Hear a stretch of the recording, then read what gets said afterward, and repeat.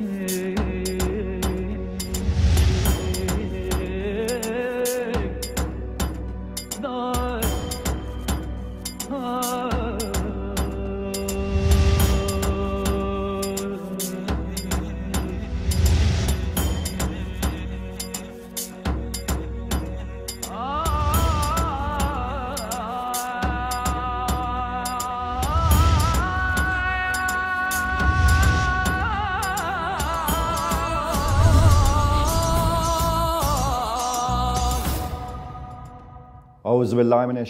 rajim. Bismillahir alaikum and welcome to tonight's live show on Imam Hussein TV.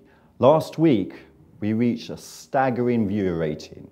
Viewers from all over the world, tens of thousands of people watched the show last week, thanks to our special guest, Dr. Sayed Ammar Nakshawani. The title of last week's show was Islamic Divorce. It was so popular that we've extended the show and the series into a mini series now to be continued today. We spoke about the rights, abuses, injustices suffered by people, people undergoing divorces, post divorce, prior to divorce, and so on and so forth. With me tonight, I'd like to welcome once again Dr. Sayed Ammar Nakshawani. Assalamu alaikum. Wa alaikum assalam wa rahmatullah. It's a great privilege to have you on air again once again. Thank you. me. Thank you so Um, much. Last week we reached a phenomenal viewer rating um, audience. Um, Bolivia, Venezuela, Spain, um, Hungary as well. People actually called in, WhatsApped and telephoned, and um, you know really did um, compliment specifically yourself um, for your um inputs and your guidance.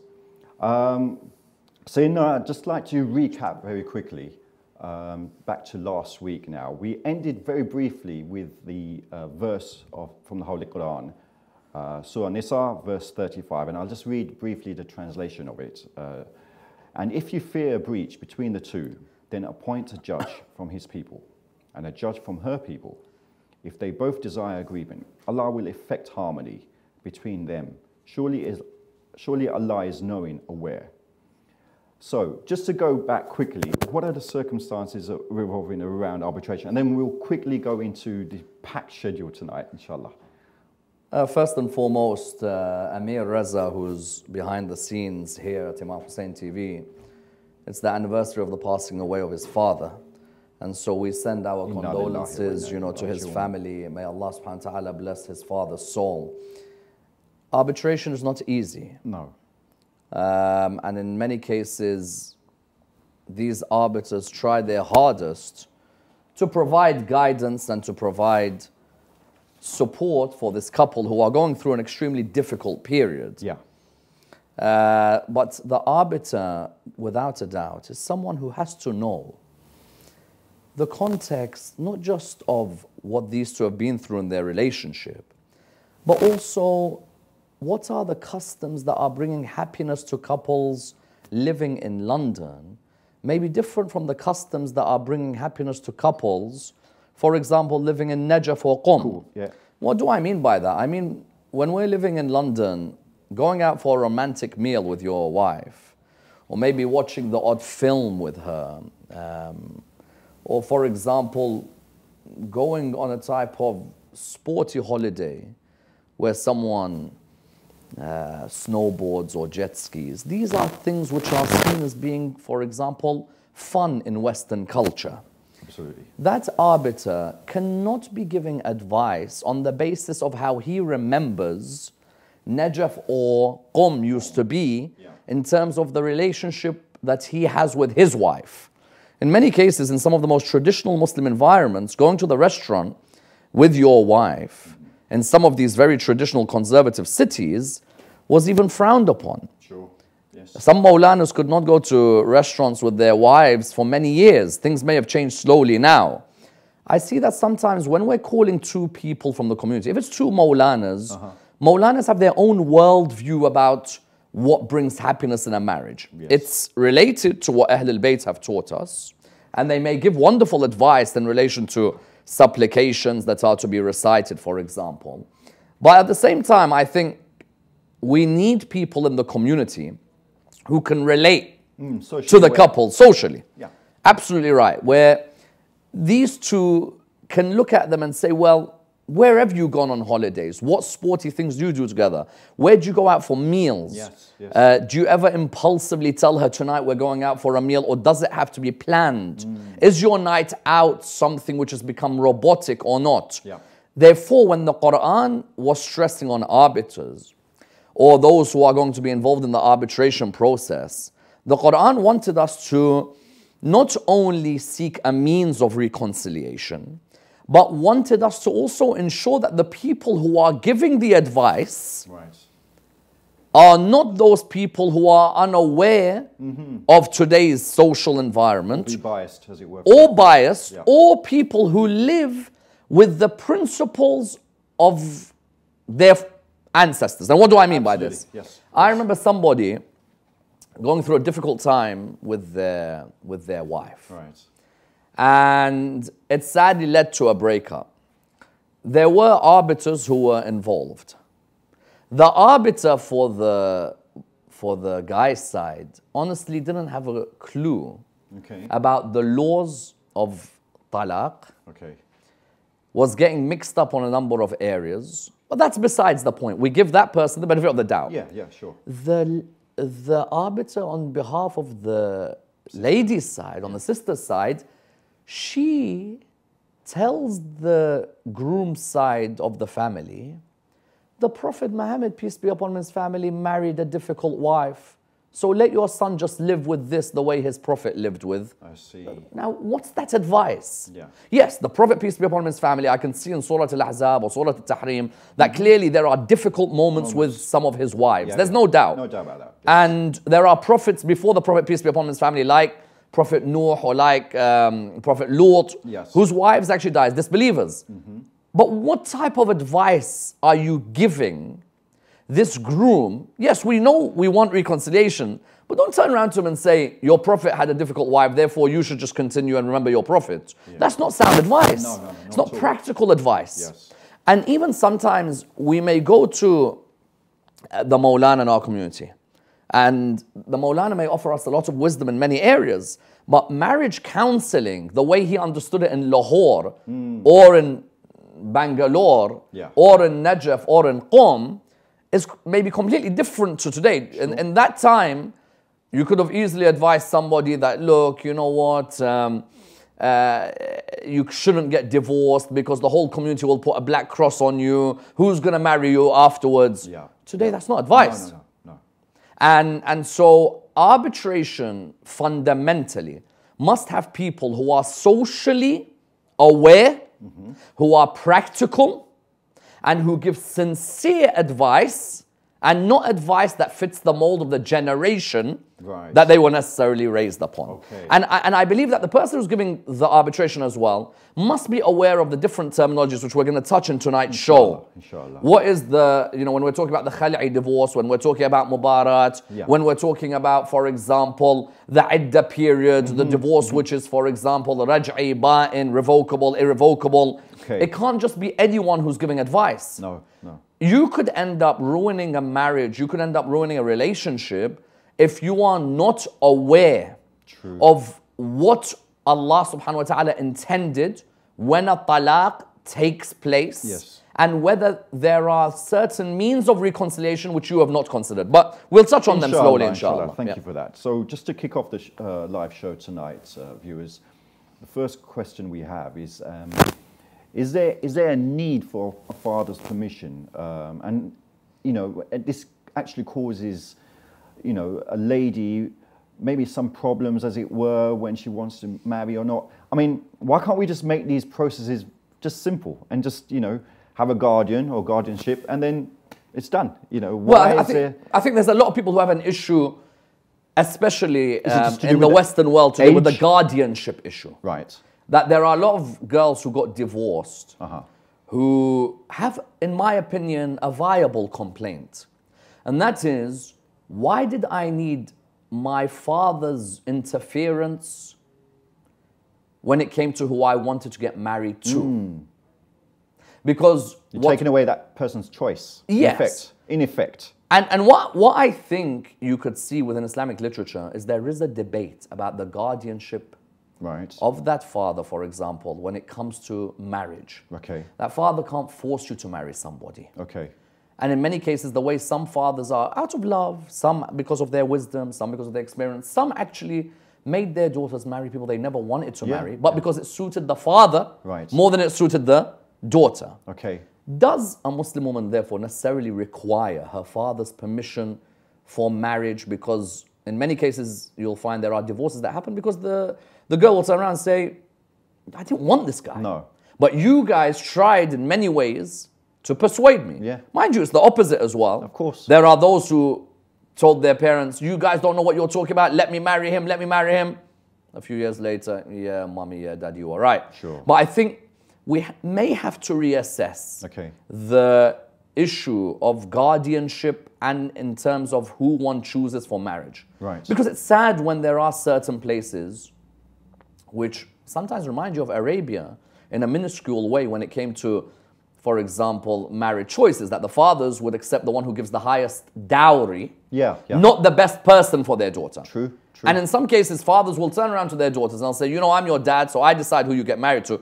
In some cases, the advice they give is wonderful. In some mm-hmm. cases, the foresight they have is unique. yes. In other cases, I think the lack of independence of some led to divorces because of decisions made more by the families Yeah. than by the person. So just very briefly, uh, is it really revolving around the innocence of a woman or the mental faculty of her understanding or both? I, I think both. Uh, there's Yeah, uh, because in- obviously in- independence. in- I think independence should allow one to make their own life decisions. Yeah, yeah. You know, once again, we're fighting the context versus the text. Yes, yes.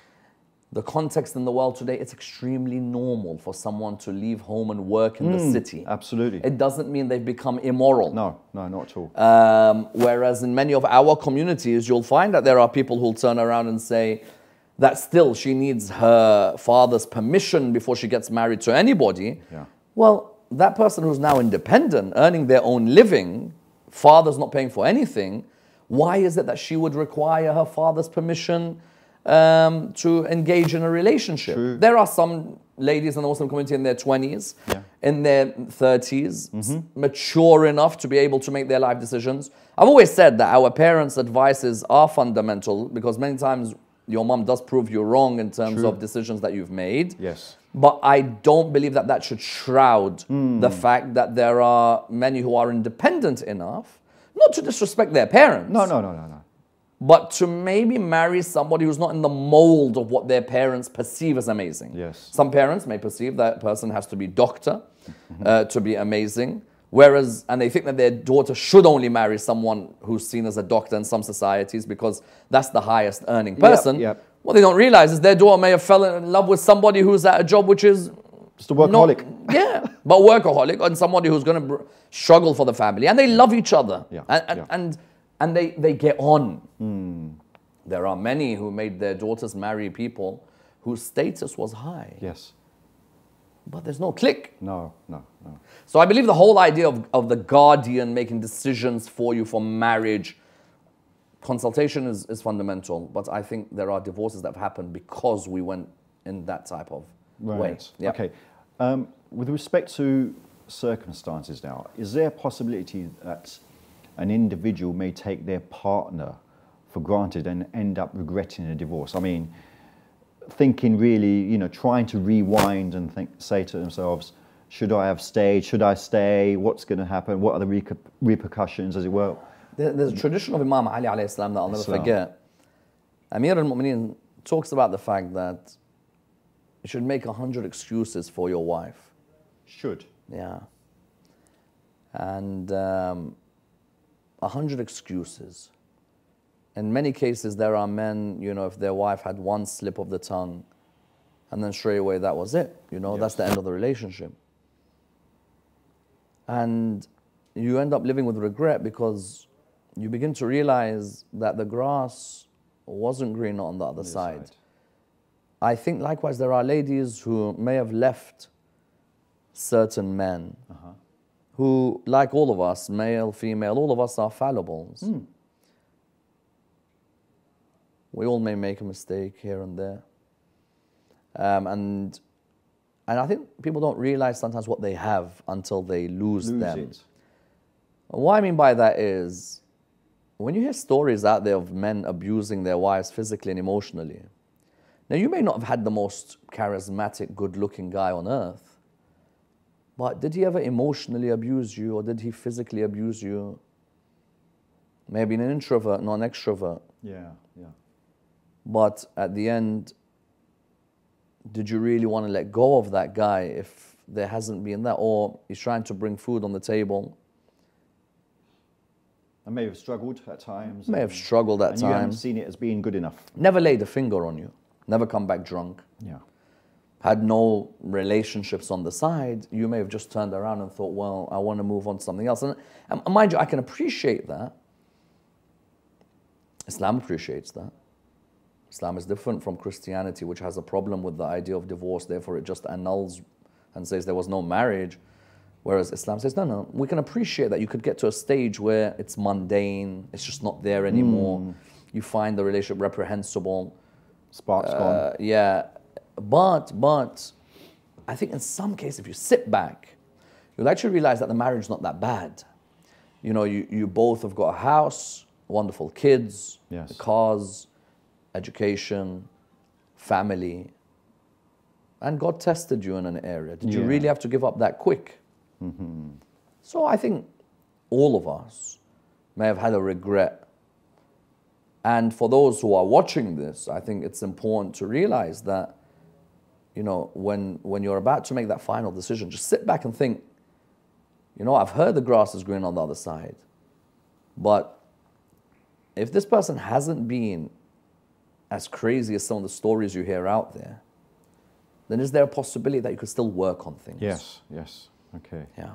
Okay, thank you for that. Uh, before we uh, continue um, to the questions that actually have come in today already, um, I do urge viewers to actually donate if possible.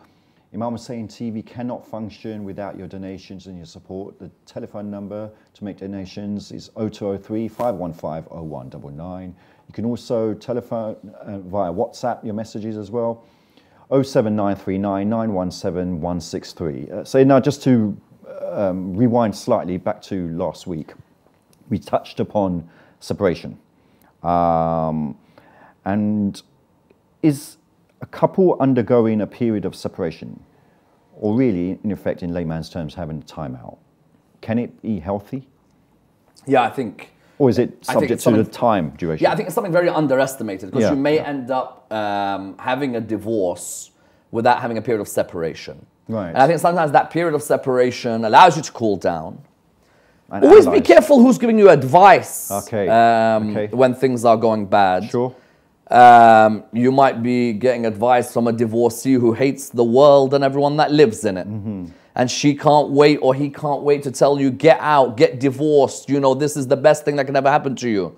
Be careful. Right. Not everybody out there who's giving you advice when things are going bad is a person of wisdom or is a person of God consciousness. True, true. There are some out there, because of their nasty divorces, hate mankind. Yeah, yeah.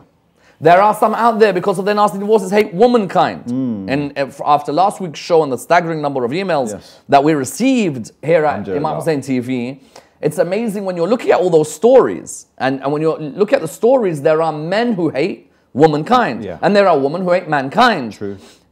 And there are some who'll tell you, just finish this off, get out. And there are others who'll tell you that, you know what, just calm down. Yeah. Chill. Chill.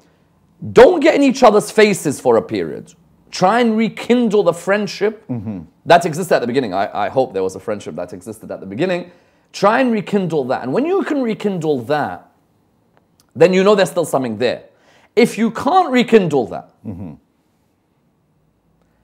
then okay. At least you tried. At least you tried. Yeah. And it's not just trying for, for, for mum and dad's sake. No, no, no. You actually try. Hey, there could be kids involved. Don't be so selfish and just walk.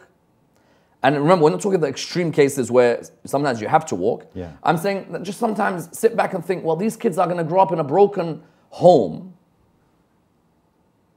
Could we just maybe work on things one more time? Yeah. plead to each other and just say, listen, is there a possibility that before we get this divorce, Maybe we just take a period out to see is the spark still there? Do I miss you? Do you miss me? If it's there from one side, not from the other, okay, one can appreciate. True. But I do think the separation period is something that definitely is needed. You know, Okay. sometimes the Quran will say, واللاتي تخافون نشوزهن فعظوهن واهجروهن في المضاجع واضربوهن. uh, those of your wives, you may fear there's an indecency from okay. them. Okay. At the beginning, talk to them. If right. that doesn't work, separate the beds. Okay. Okay. Maybe you know you go to one side of the bed and she goes to the other. And if that doesn't work, some said wadribahun means hit them, and we try yeah, to we, prove that yes. this goes against the the actions of Ahlul Bayt who are walking Quran. But but also some said that that also means to travel away or separate away from each other.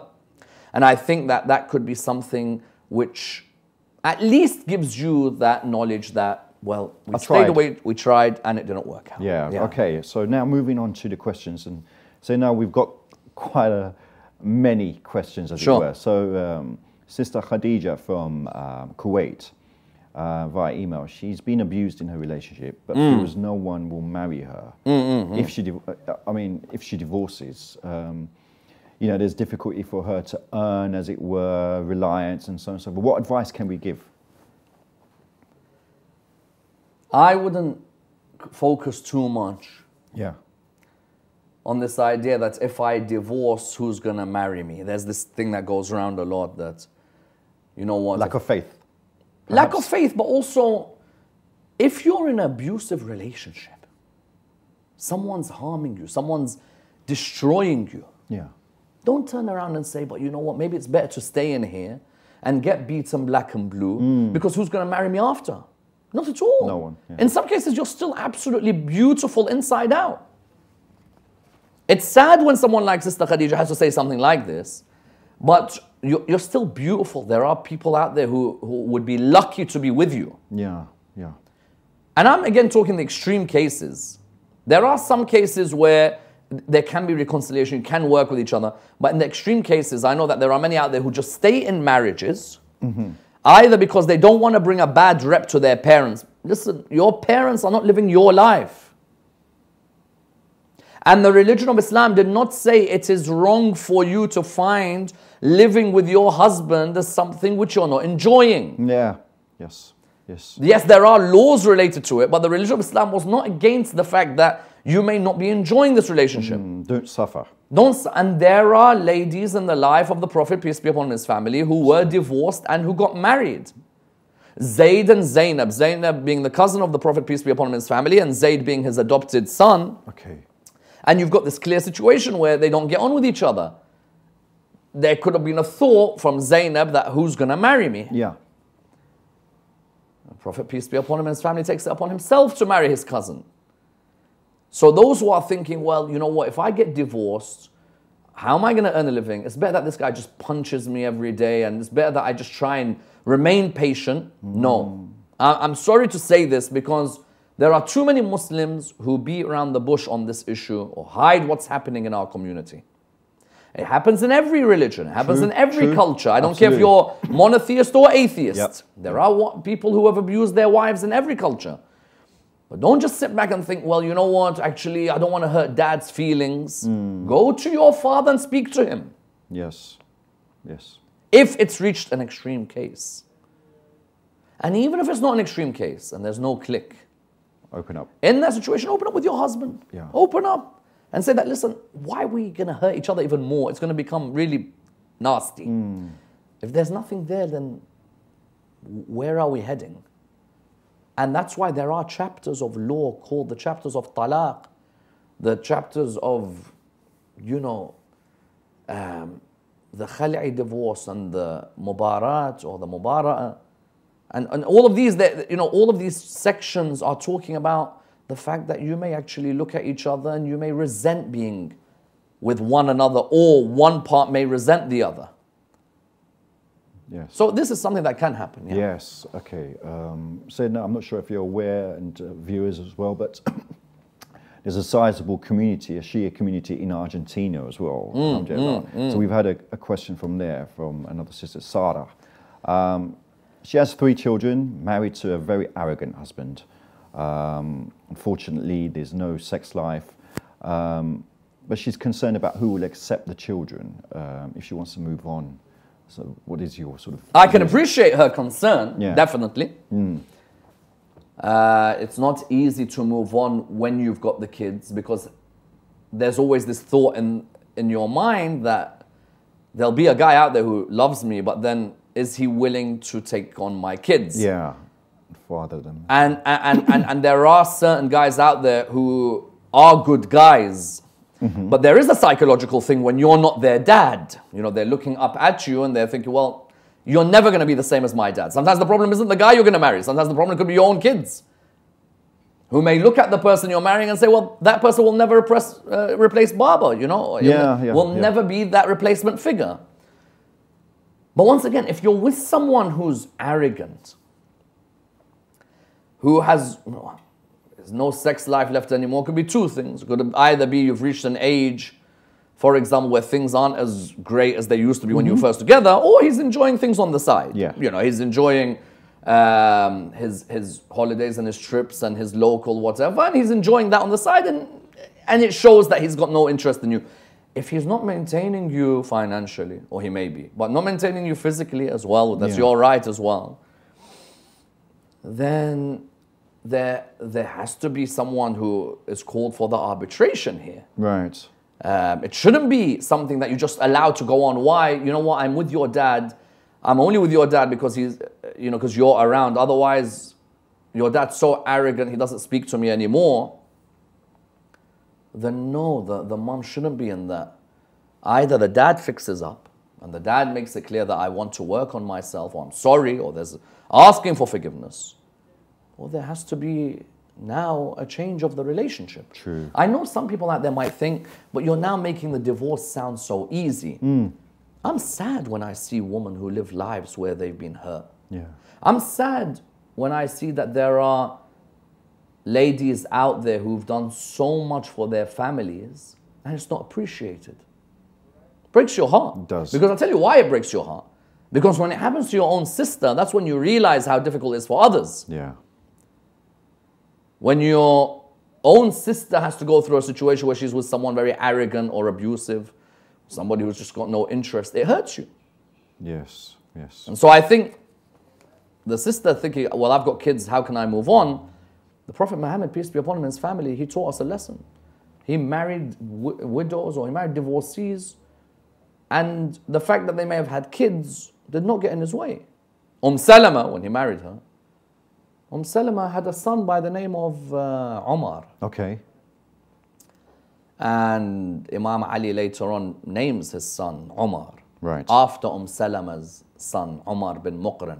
Okay.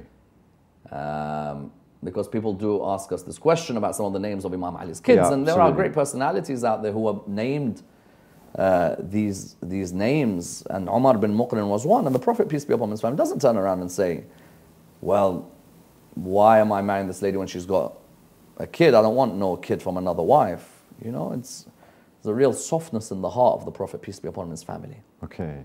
But you definitely don't deserve to live a life with somebody who treats you uh, in a way of arrogance. That's for Yes. sure. Okay. Um, we have another um, email question, as it were. The sisters intentionally use an anonymous name, so she said, uh, "Please use a different name. Uh, please use Zainab."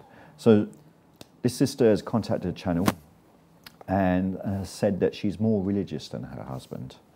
Um, her husband has no interest in going to majalis or um, sacred places or ziyarah. Um, what she should do? What should she do? Um, she feels divorce is the best option. Um, what? No, no, divorce is not the best option. Okay. No. I'll be very frank about that. Being more religious than your husband doesn't mean divorce is the next step. Okay. So viewers, do please. This is, this is um, fundamental to the viewers. I, I have to repeat yeah, this. Yeah. I may have an interest in going to majalis. I have an interest in taking the kids to the madrasa. I have an interest in going ziyarah. The husband doesn't. When you first got married, the two of you, weren't you on the same playing field? Hmm. Just because you're now a bit faster in your development, the ethical thing wouldn't be to leave. The ethical would be to take the hand and try and move forward. Together. Sometimes there are husbands, it's not that they're anti ziyarah. Yeah. It's not that they're anti um, majalis. Sometimes the majalis that they listen to, they're bored of. They're listening to someone speak and they're just thinking, Not being motivated. what's this guy on? Yeah. It just doesn't relate to me. That husband is not the fact that he's not interested in majalis. Because that same husband, there may be one or two speakers he is in awe of. He loves their lectures. Then you may have a husband, you're like, he doesn't go ziyarah. He doesn't go ziyarah because the ziyarah group that's taking him mm-hmm. is not explaining to him, for example, where are we? What's the history of this place we're going to? It's just, you know what? Get to the ziyarah place, pick up Mafatih, page 441. Okay, here's some masa'ib in five minutes. Okay, let's move on. Yeah. Yeah. True. Therefore, when you're saying your husband is anti majalis or anti, it's different from someone whose husband is now with having entertaining these thoughts of atheism and so on. That's a different story. Yeah. Yeah. yeah. Let's let's stick to the to the facts on this particular area. True. I've seen cases where I've met families. Subhanallah, I, I met one a couple of days ago in London. And he, he just blatantly said it. He's like, listen, I, I don't go to lectures. The only ones I listen to are yours. Fair. He just blatantly said that. Now, when he's saying that, with all due respect to others who are giving lectures and so on, some might perceive what he's just said as someone who's antagonistic towards lectures and majalis. No. He's just like, listen, when I want to come and listen to a lecture, there's a certain way I want it div- delivered. There's Yeah, a certain yeah. style. There's a certain depth. True. I want some sort of relationship, as it were. Yeah. I don't want the Maulana to look at me as like some six-year-old in the crowd. Yeah. Yeah. I want the Maulana to actually treat me as if I'm a, a, a, someone who is educated and he wants to take me even further in my development.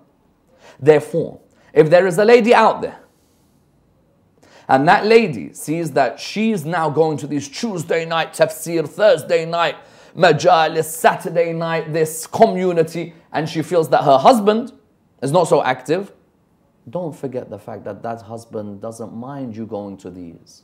True. That's a barakah. I- That is a absolutely. rizq. It's giving you that freedom. When that husband's saying, mm. go, mm. enjoy these, I don't mind, let the kids go to the madrasa. Don't straight away think divorce. Yeah, someone might naturally want to be with a husband who they think, you know what, this guy, he'll chat with me because he's like, he loves religion. I myself, I myself,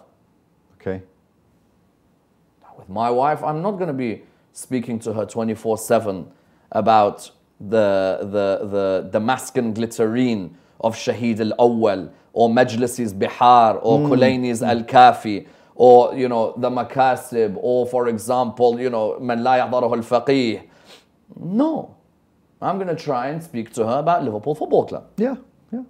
I'm going to talk with her about football. I'm going to tell her how crazy I am about football. I'm going to discuss with her what she's studying. I'm going to discuss with her, um, you know, what's on the telly, for example. And she, likewise, when she's always speaking to me, she loves that conversation.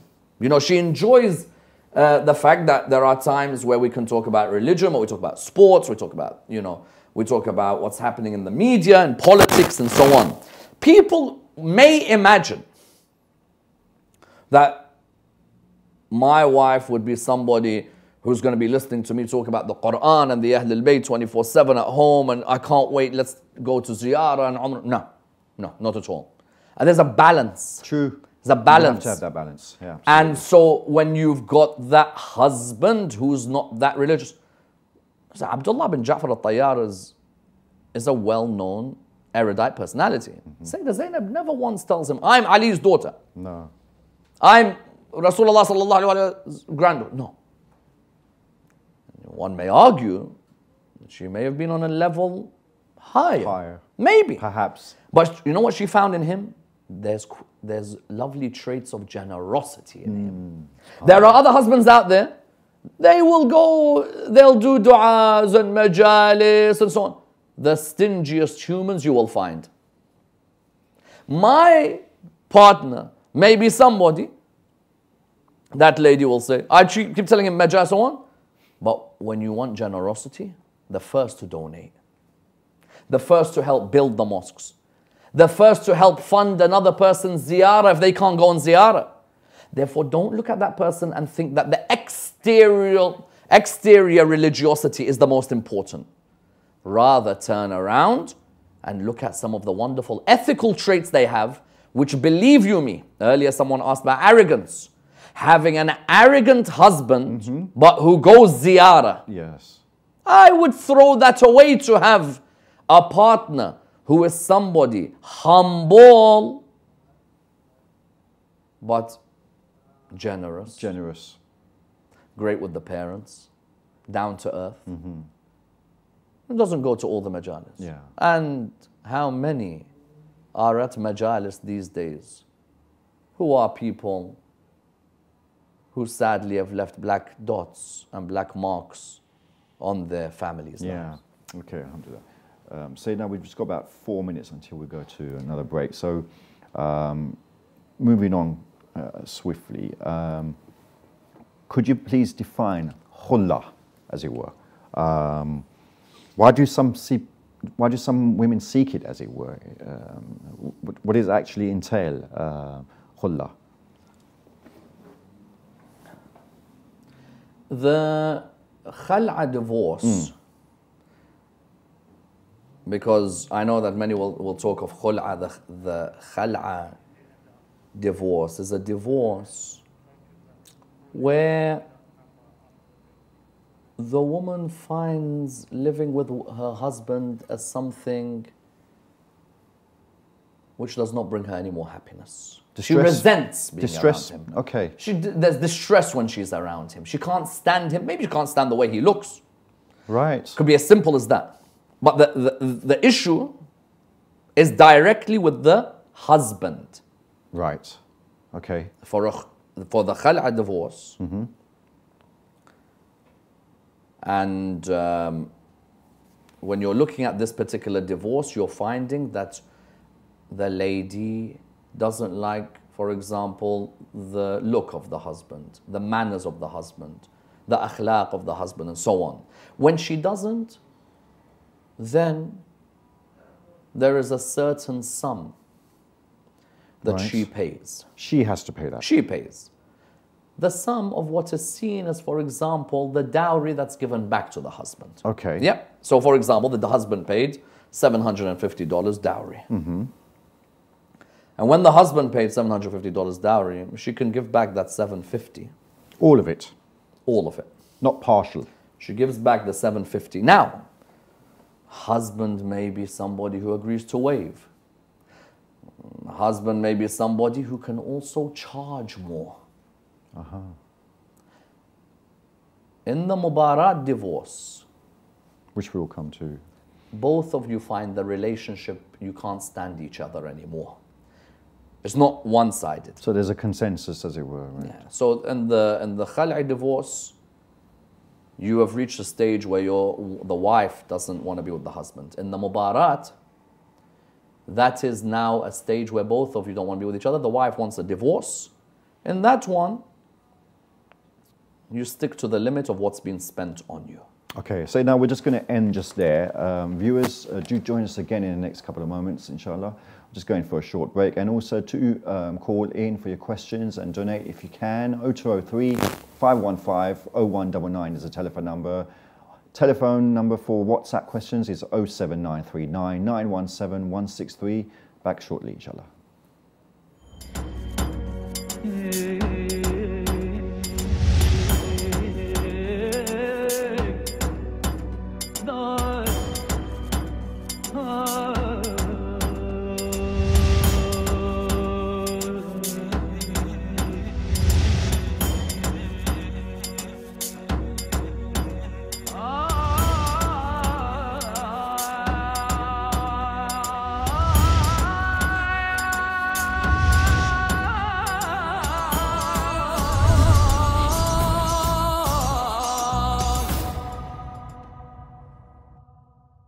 Assalamu alaikum and welcome back to tonight's program on uh, Islamic divorce. Sayyidina, assalamu alaikum. Um, just prior to the break, we, you briefly touched upon uh, as it were. I hope I've pronounced it correct. Um, just going and continuing to that, on that topic. Yeah, let me just continue. Yeah, yeah please, and, and the discussion on that. What you have is that many people ask this question that how can a Muslim woman get divorced? And normally the unilateral right for divorce is given to the male. Man. And this, I believe, brings about a lot of injustice.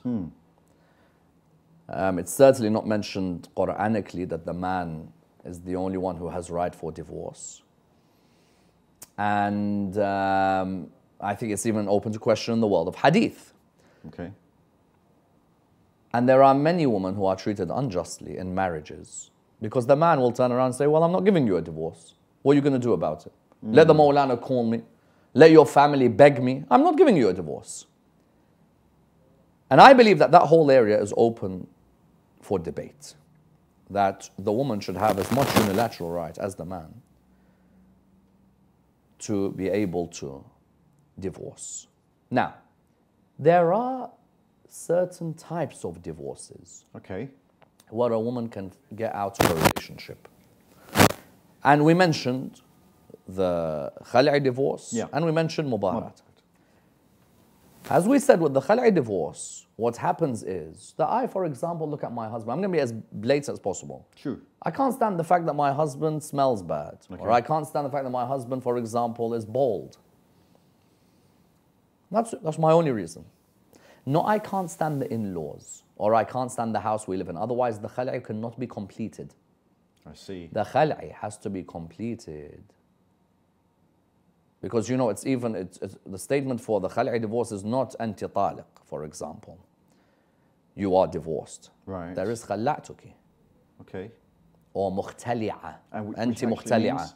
Which means that now there is this separation that takes place. Okay at a certain payment.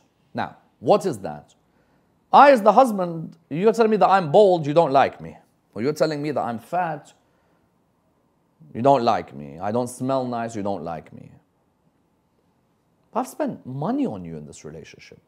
You resent me I can appreciate. You want to move on? I can appreciate. However, I've spent money on you. Mm-hmm. Give me back the amount, which on the minimum, let's say for example, is the dowry. Right. You give me that dowry back, you have your divorce.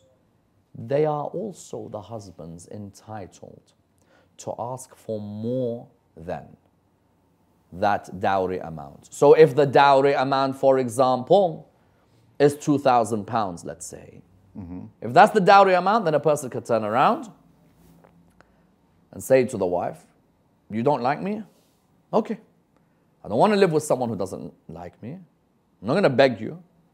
Give me my 2,000, for example, that my family gave your family on that day, and move on.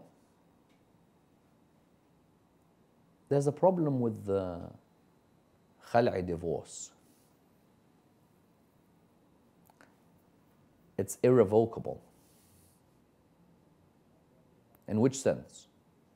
Normally, when there's a divorce, Yeah. Normally their divorce is revocable because in the idda period, which we'll discuss, shortly. Discuss, inshallah. Now, when someone gets divorced, there is an idda period. Say three menstrual cycles, for mm-hmm, example, or mm-hmm. three months for the one who doesn't menstruate.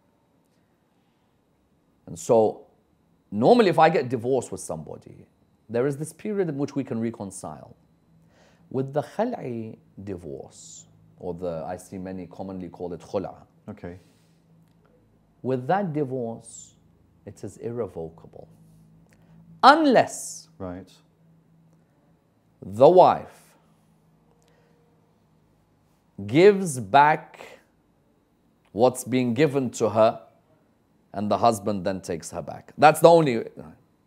Otherwise, it can't be the same as the revocable divorce. Because, you know, they, they make a separation in the world of Islamic law between a divorce which is revocable mm-hmm. And irrevocable. Raj'i and ba'in. Okay. Raj'i divorce is the common one. Me and the missus haven't got on. We've gone to Maulana. Maulana's done the talaq. There's been two witnesses there. Three menstrual cycles later, if I haven't touched her, if there's no intention of return, she moves on. However, if there is an intention of a return, mm-hmm. Then we can come back with each other. Yeah. There are certain divorces where you cannot come back. Right. For example, I divorced my, ti- uh, my missus once, we got back together. Divorced her twice, got back together. Third time I divorced, we cannot get back, back, together. Go. It's done. You know, remember when Imam Ali said, I've divorced this dunya three, three times, times, yes. of which there is no return? Third time, when, you know, first time me and Mrs. divorced, and then, you know what, we're like, ah, come on, I love you, you know what, let's get back home. Okay, we could come back home. Second time, you know what, this is over, but we come back again. Third time, third talaq, divorce. Divorce. That's one. The other one is the khala'i divorce. Right. But the khala'i divorce, in the iddah, if your husband had given you, a, uh, you had given your husband a certain amount, if you give it back to them, they can take you back during that iddah. Okay. So that's with the khala'i. With the mubarat, the mubarat divorce, the woman doesn't like the husband, but husband also doesn't like her. Right. Okay. So it's not one way. No. It's two ways. Okay. I don't like the husband, husband doesn't like me, but there is a, a cap Okay. on the amount that is given. Right. Whereas in the khala'i, he could even ask 15 times the amount that the mahar was because he's like, listen, I spent all these years. You think now that I'm ugly Mm-hmm. or you don't like me anymore? Okay, give me back some of the payment that I spent on you all these years and I'm getting out of your life. And what happens? Let's just just put it out there. Using the word nasty, but just say that someone is being a bit difficult and he demands something and he's not going to get it. We know there's a whole surah in the Quran called Surah Al-Talaq. Hmm. And that surah says either you know you stay with each other respectfully or you let each other go in peace. And Don't make someone hang on. Okay. The mu'allaqa, the one who's you know they, they keep her hanging on. Okay. It's not right. Listen, but No. if the relationship's over, just end it. Yeah, sure. Okay, so we've got um, a WhatsApp question. Salams, I have a question regarding my nikah and iddah. I have been married for 17 years, have no relationship with my husband for past 14 years. I live with him, but we sleep in separate rooms. Is my nikah valid? And if I want to go for a divorce, what kind of divorce will it be? Uh, will iddah be wajib on me? I don't have any children. Yes, he's having other relations. Okay, let's work on this. They have not had Mm-hmm. s- sex for what? 14 years. 14 years. Doesn't make a difference. The fact that they had sex in the beginning of the relationship would mean that an idda would be the idda period. Okay. Uh, idda period of the three menstrual cycles. Uh, she would have to observe.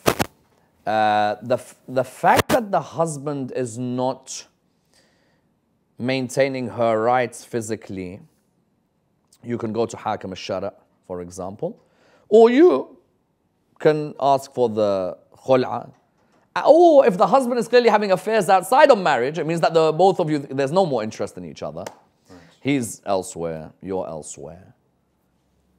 And in that case, even the, the mubarat divorce can be done as well. Right. Um, so yeah, Okay. Idda would still have to be observed. Even now, some of the viewers may say, I got divorced last month.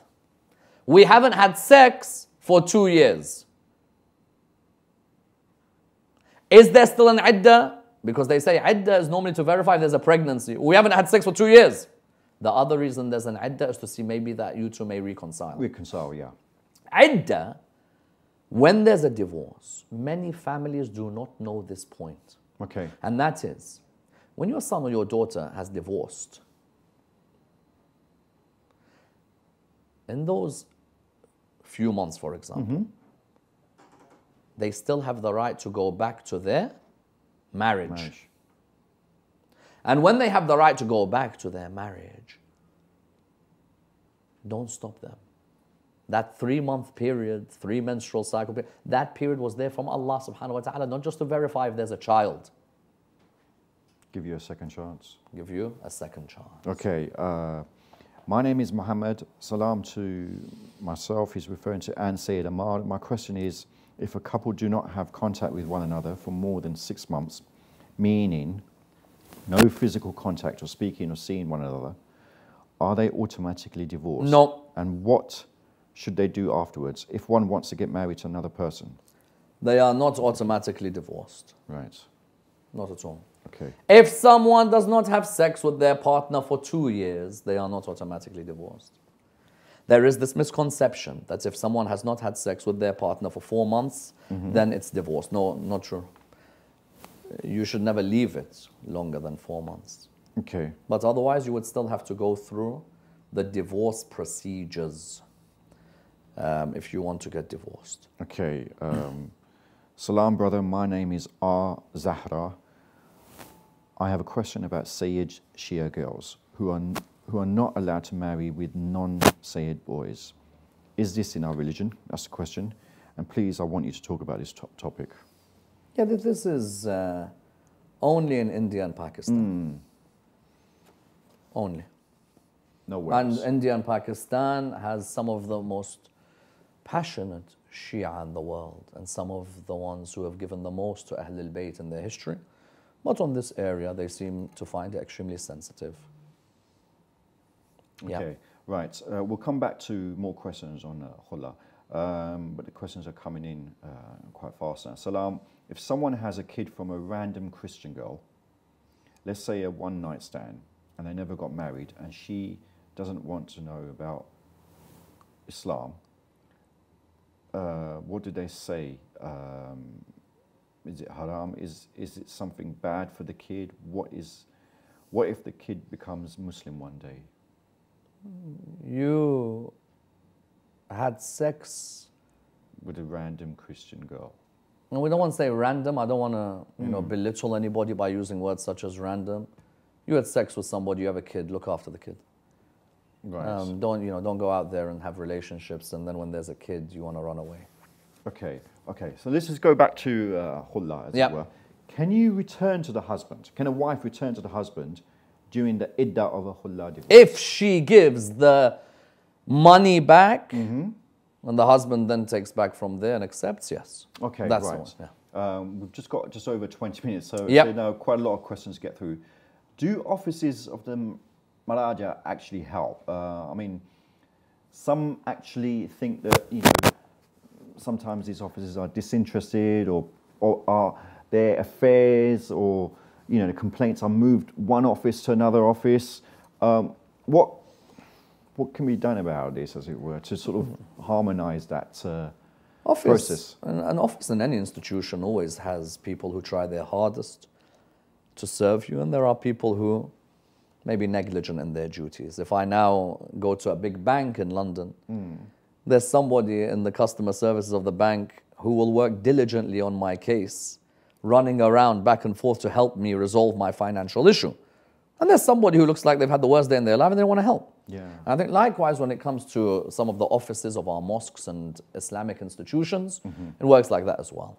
There are certain people who are extremely helpful. They go out their way to listen to so many marriage cases and divorce cases in their communities.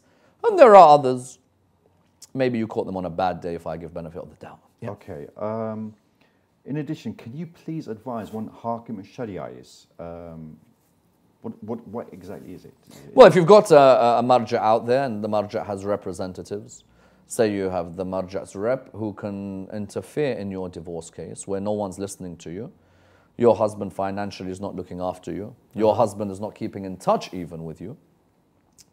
And in many cases, many women did not know who to go to because then when they tell the husband, the husband's like, I'm not doing anything about this.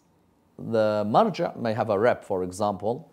That marja's rep may be in London. You go to the marja's rep, Okay. and that person will call him. Once he verifies that this person truly is not trying to maintain contact or is not looking after the duties that a husband has to look after, Yeah. he can uh, arrange for that divorce to take place. Right. It's not some random, you know, any Tom, Dick, and Harry who could do this, by the way. Hakim al-Shara has assigned certain people, for example, who have that authority on his behalf Okay. Yeah. Okay. Um, so ultimately, just extending that point, what are the rules around Hakim Sharia for a husband and wife? I mean, for example, if the husband has been abusive, can can this take place without the husband knowing? If the husband, the only way it can take place without husband knowing is if the husband blatantly doesn't answer anyone's calls. Right. And then at that moment, the rep of that marja can annul and ensure that the divorce takes place. Annul it. Yeah, divorce is, he can do the divorce. He gets his two witnesses, Okay. and those witnesses ensure that it's done. But I think the best way is to talk with the person. Yeah, person. absolutely. A person should try their hardest to talk with somebody. And if you find somebody cursing you on the other end of the phone, then you can only imagine what his wife's been through. Yeah. Okay, okay. Um, with regards to idda now, um, why is there an idda period um, in Islamic fiqh? You know, in terms of uh, is is a husband responsible for his wife in idda period? When you divorce your wife in that revocable divorce, you're still meant to look after her food and clothing. Okay, I think there's a misconception in our communities where people think that when you divorce a girl, you got to kick her out of the house. right. No, you don't.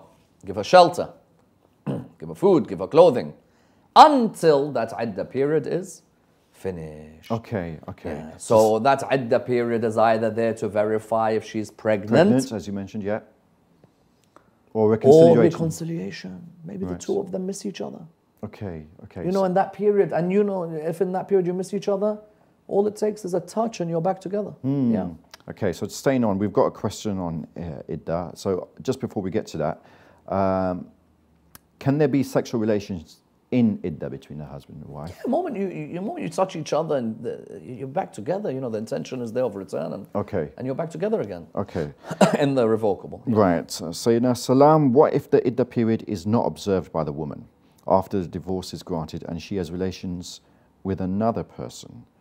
What then of the divorce? As a precaution, the person, she has, so there's a woman in her idda period and she, Mm-hmm. But she's not observing it. So she's had sex with somebody else Yes. in the idda period. Yeah. As a precaution, that person becomes haram for her to marry. Right. Okay. Yeah. Um, And naturally, I'm assuming because can a, can a husband and wife live together in the idda? Yeah, yeah, of course. The Quran talks about the fact that you know uh, you, you look after your wife in that in, when you've got divorced. It shouldn't be a case of look. I can understand if we're gonna be very real. You're probably both so angry with each other, and you just want to get you don't want to see each other's faces. But obligatory on the husband is that he has to maintain his wife in the idda period. Okay, okay. Yep. So now you may have answered this, but I'll just put it out there um, because viewers have asked me to actually ask you this. Um, can there be a divorce with no idda? Can there be a divorce with no idda? Two cases. The first case, if there's if you've not had sex with your wife, so there's no idda for her because no chance of pregnancy whatsoever. And the second is if the lady is above 60, Okay, because the menstrual cycles won't apply. right, Uh, so those would be the two cases where there's no idda. right. Yeah, 60 menopause, and when it comes to the other one, somebody you've got married but you've had no sex, there's no idda for the girl. Yep. Quite an interesting but important question, I believe. Um, can a woman move in with her future husband um, when she's divorced? Can But she what? can she move in with her future husband, already being divorced, but still observing idda from the ex-husband? No, no, no. While somebody is in idda, they cannot be in any other relationship, Period. such as mut'ah, Right. such as marriage. You cannot have an Islamic marriage or a mut'ah, temporary marriage. And sex, if you have sex with somebody while you are still in the idda of talaq, as a precaution, it is haram for you to then marry them. Right. So we've had another question. Uh, Mona, she wants to know, um, and she's used as, uh, uh, also an um, anonymous name, as it were, so Mono isn't her name. Um, if, albeit having sexual intercourse with her husband, she was in idda of ex-husband, um, can they marry each other? No, precaution, as I said earlier, it's haram. Right. Yeah. Um, then there are other maraja who may say tawbah, repentance, but it's really frowned upon. Yeah. Okay. Um, now, the circumstances surrounding a sister who wants to reconcile, as it were, uh, with her husband, but the parents do not like him. What What are the sort of what's the Get somebody to speak that? to your parents. Okay. Get somebody wise from the community to have a word. If you still love your husband, and some people fall into this trap that you know what, I want to go back to my to my partner, but my parents don't like my partner, so I'm not going to go back. But I love my partner and I miss my partner. Then don't give up on your partner. Okay. You know, okay. try your hardest to find somebody in the community who's going to be able to give good advice at that moment. Right. Okay. Is it recommended to marry um, a divorcee? Uh, I mean, what happens if, for example, emotionally that lady may have been hurt? Um, what what are the sort of thoughts around that? You- s- uh, someone, your qisma wasn't somebody else's. Right. Right. It was written for you, not for that person. It can happen. And what sort of divorcee, for goodness sake? A Divorcees killed somebody? Yeah. Yeah, divorcee. It happens to people. Maybe get married too young, too naive, you know, immature. And they regret it later on what they've done. And they moved on, they matured, and they're great people. And so I, you know, the Prophet Muhammad, peace be upon his family, he married divorcees. And whatever he does, we try and follow in the best of ways. Okay, okay. So the, a brother has contacted us. Um, it's quite a serious um, issue, um, so it should be treated with um, sensitivity, as, as it were. He's contacted us from Pakistan Yes.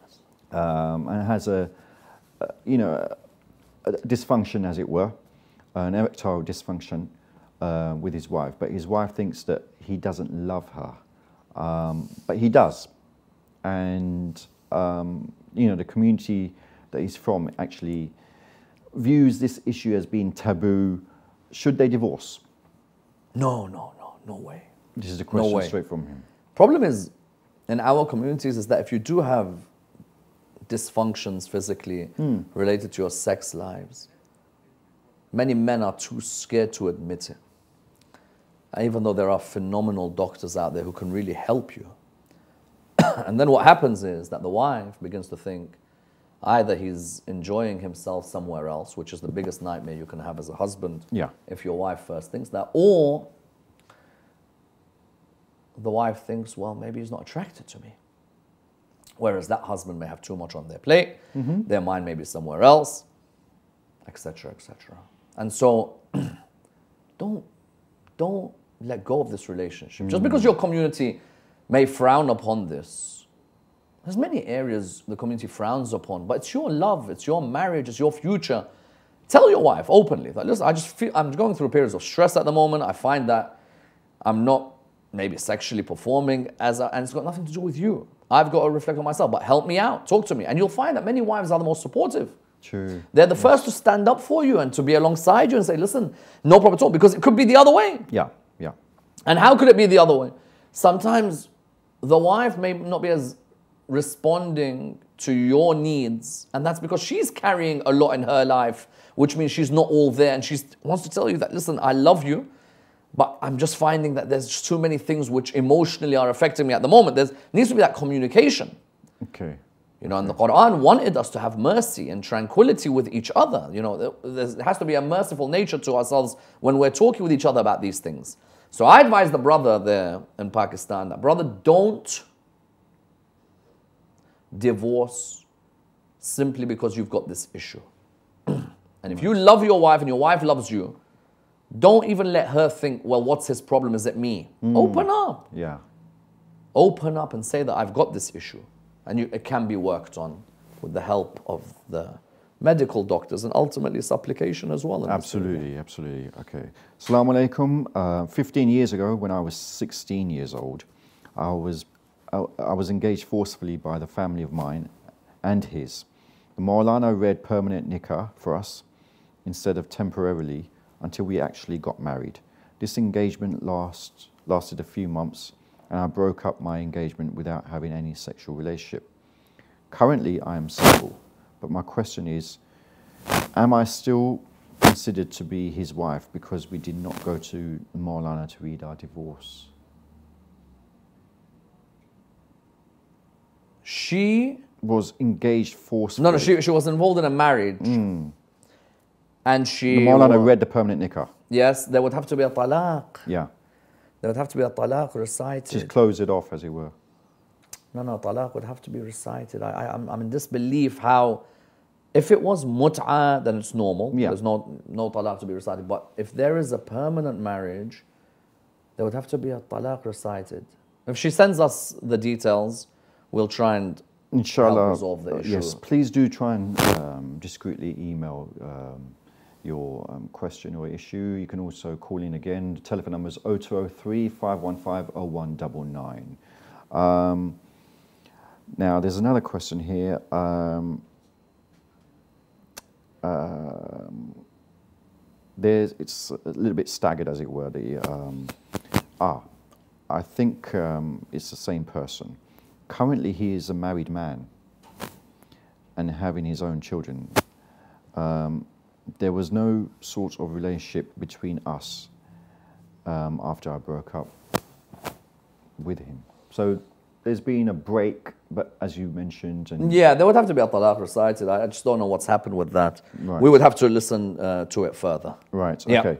Um, I have an urgent question for Sayed uh, Nakshawani. I'm messaging from Pakistan. I was married for 12 years. 10 of those years I spent trying to get a divorce. My husband wasn't Shia, but we had a Shia nikah. He finally sent me the divorce papers. Am I divorced through Sharia?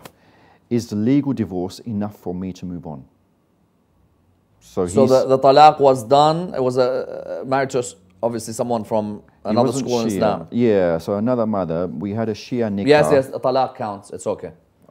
Talaq Right. is done. Yeah, so this is enough to me. If a Shia girl is married to a Sunni boy, Mm-hmm. Shia lady married to a Sunni man, yes, and they done the talaq according to Ahl Sunnah. They don't have, for example, witnesses there. The talaq is valid. Okay, Yep. right. Um, same person, I believe. Um, it was my first pregnancy, and my husband was insisting I get an abortion. Should this alone be a reason to get a divorce? Abortion, if the mother's life is in danger, is allowed in Islam. Okay, And if not aborting will bring unbearable harm, then it's allowed in Islam at a certain period of which there is debate and discussion. So we would have to review the case and see what the circumstance was. Sometimes a person looks at such moments and should seek repentance from God, but it's not enough for divorce. okay. Um, salams. Does the husband still have to pay maintenance to the wife after the idda period? And if so, for how long? And if they have children, does husband still have to pay maintenance? Inshallah, in the next show, Mm, inshallah, we're going to have a complete dissection of what happens with the kids after the divorce and custody of them. Yeah. Right. Um, Salam, brother, have a question. Is it okay for an older woman to marry a younger man? As the Prophet did marry Bibi Khadija, but due to the community issues, please, should we keep away from this? So, Nah, not at all. You're attracted someone older than you and you, feel that there's a click there, then why not? yeah. Yeah. Okay. Um, now, just going back to the, the schedule for tonight, um, a caller called in, um, Asif, and uh, his friend, in a moment of anger, um, said talaq three times to his wife. Does this annul the marriage? Shia, no. Period. Other schools in Islam, maybe. okay. Because sometimes, because when people hear, if you say taliq, taliq, taliq, then it's a divorce. So for Shia, there's no such thing that, you know, a person in a fit of anger, he just turns around and says taliq, taliq, taliq to the wife, the wife can just go and tell him, listen, just go watch some football. Okay. Um, other schools in Islam, there are many cases where they did that and they regretted it. And they, in some cases, had to believe that, well, she would have to go and marry somebody. And then after she divorces that person and completes the iddah, only then can she come back to them. For us, no. Yeah. Okay, what happens if um, if a sister marries someone else? Um, can the first husband take his ex-wife back? If the sister marries, Marries someone else, um, can the first husband take his ex-wife back? So there's been a divorce. Um, can she marry someone else? You know, so it's a little bit vague. I, I believe it's in relation to the idda, as it were. So if she's within the idda, she she clearly can't marry another man. no. When you're in, a, in the idda, you cannot be in a temporary or permanent relationship with any other person. Okay. Yeah. Um, right. There's one question here. Um, the sister hasn't emailed, uh, emailed her name, but it's quite a disturbing question. Um, my, my and it's a, quite a sad um, case, I think. Uh, I think I'm sure everyone will agree. My husband divorced me an hour before I gave birth. When does my idda end? My husband divorced me. An hour before I gave birth. When does the idda End. end? As soon as you give birth. Soon Done. as- Finished. Right. As soon as she gives birth, idda's done. All finished. Okay. Yeah. Okay. Okay. Um, viewers, do call in um, to actually pose your questions. The telephone number is 0203 515 0199. You can also WhatsApp your questions 07939 917163. Inshallah. Um, Sayyidina, just going back to the topic now. Um, we discussed quite a bit today, as it were. Um, now, in, in relation to the divorce, as it were, um, what I'd like to ask is what should be the. I know we're going to actually encounter a number of different cases, as it were, next week, as it were, we'll continue this. But we've spoken about Khula, we've spoken about other cases, as it were, divorce as well. There's a, a particular verse in the Holy Quran, um, if I can just go back to it. Um, Surah Nisa 129, you spoke briefly about mu- mu'allaqa. Just, if you can just briefly just touch upon that again. Mu'allaqa is a very is a very sad, sad situation for any human being. Right. And what that is is you've got this very arrogant husband who knows that divorce is in their hands. And that's why I always claim there has to be a review of You mean a control, as it were, that he can. Yeah, well, you know, I, he can just call for a divorce to happen. And clearly, this person abuses this in a very unjust manner. How do they abuse it in an unjust manner? They mm-hmm. just turn around to their wife and they say to her, Listen, go and beg me, go and beg your parents. I'm not giving the talaq. And if I don't give the talaq, you're not getting the talaq. You do want to get a talaq, I'll charge the highest payment for you on the khal'i. So that's not going to happen. Okay.